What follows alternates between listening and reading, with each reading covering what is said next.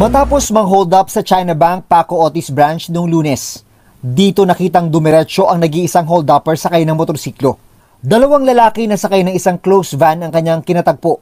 Ikinarga nila sa likod ang motorsiklo na ginamit umano sa pang-hold up.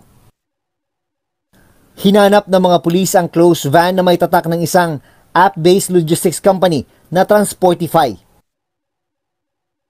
Isang araw matapos ang pang-hold up sa bangko, naaresto ng MPD o Manila Police District ang dalawang suspect na may dala ng close van.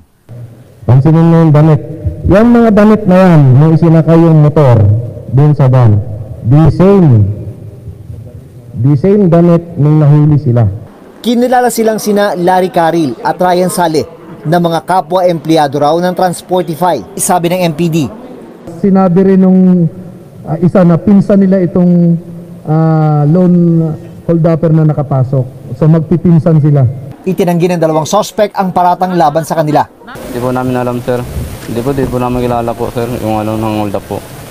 Booking, ginuking lang po kami. Hindi totoo? Po.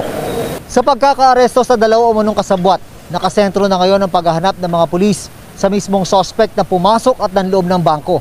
Pero hindi pa naman inaalis ng mga investigador ang posibilidad na baka meron pa silang kasama. Ayaw pang pangalanan ng pulisya ang mismong hold-upper. Ito ang kuha niya sa loob ng bangko. Nung unang beses siyang pumasok nung araw ng pang-hold up, nagkunwari raw siyang magbubukas ng bank account.